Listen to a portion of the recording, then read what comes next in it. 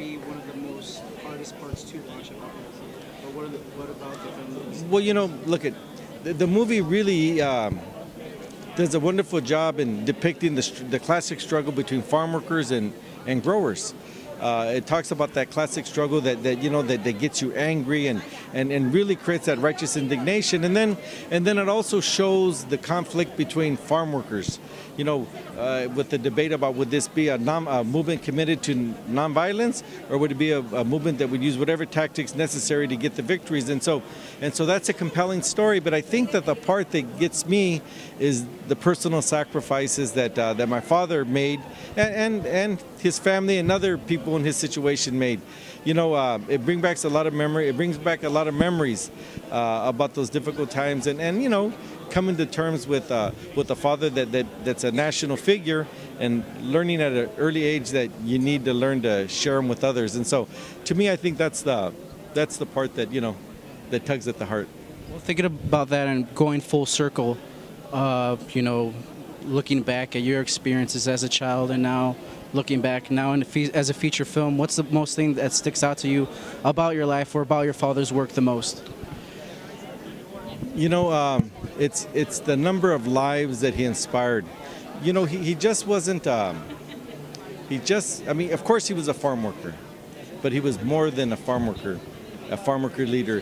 He's Latino but, and a proud Latino, but he was more than just a Latino. He really was an American hero, and what he did was, by working with the poorest of this nation's poor, and taking on the biggest and the most powerful industry, and overcoming those obstacles, really what he did was he provided inspiration and hope to people from all walks of life across this country that they could get out and make a difference in their communities. And so I, I think it's the impact that uh, that his work has had beyond the fields. I think that uh, that that's one thing that we continue to hear when we go out to these uh, screenings and talk to people about how uh, many people have never set a foot uh, a day of their life on a farm, yet they're uh, they've been profoundly moved by my father's life and work. Well, let's let's talk a little bit about your work that's continuing from your father's work. Uh, what would you say that your father would think about the, the work that you continued on his behalf, and the, and the, the impact that you made for his cause? Well, you know, um, he had this idea from the early days that workers just weren't workers. He understood that the hardships that, that workers face at the workplace don't end when they go home. Actually, they go home to a whole different set of problems.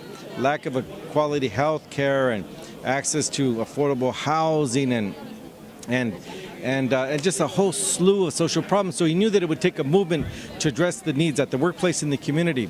The work of the Chavez Foundation, the Cesar Chavez Foundation, continues to focus on the work that he began in the early 60s.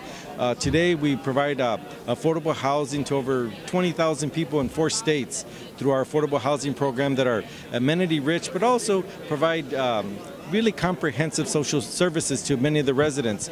We have our um, our radio network, Radio Campesina, uh, with 500,000 daily listeners across the three states region that speaks to recent immigrants on a daily basis, and we talk to them about their rights and responsibilities, but also we remind them and we encourage them to go out and get involved in the civic and political affairs of their communities to, to make this a better place for all.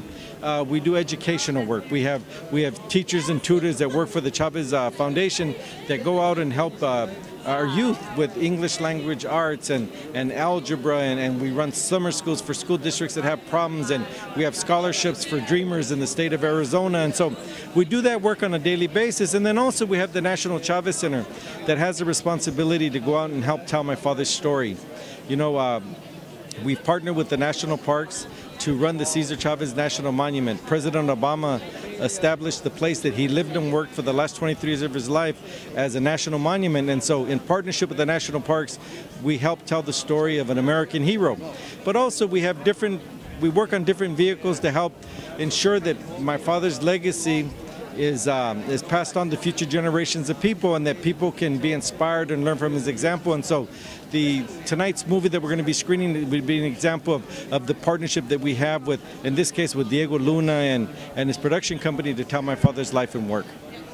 Just real quick, just to wrap everything up, uh, everything you said, very moving and a lot of great work commended to you and your family, picking up where your father left off. Uh, what would the National In-Service Day mean to you and your family, uh, so uh, for the nation to recognize the hard work that your father put in for the community, for the Latino community? This year we celebrate the 21st anniversary of my father's passing. And during that period, there's been commemorations across the country. Many communities hold annual uh, uh, commemorations and celebrations in his honor. There's been streets uh, named after him. There's been libraries and schools and holidays. And there was a naval ship named for my father and, and a U.S. postage stamp. And there's been a lot of different commemorations that, that as family members, uh, we're very grateful for.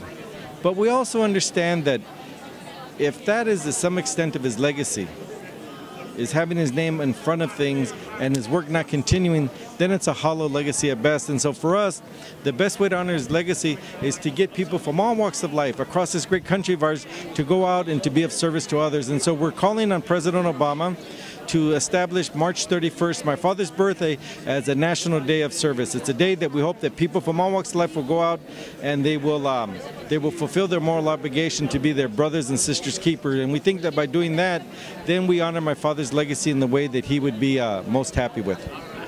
Thank you very much, sir. Much appreciated. It's going to be a great showing. It's going to be a great showing.